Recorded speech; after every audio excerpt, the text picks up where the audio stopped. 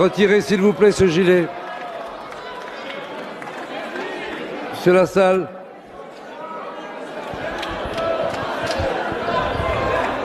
Monsieur Lassalle, s'il vous plaît, allez manifester hors de cet hémicycle. S'il vous plaît.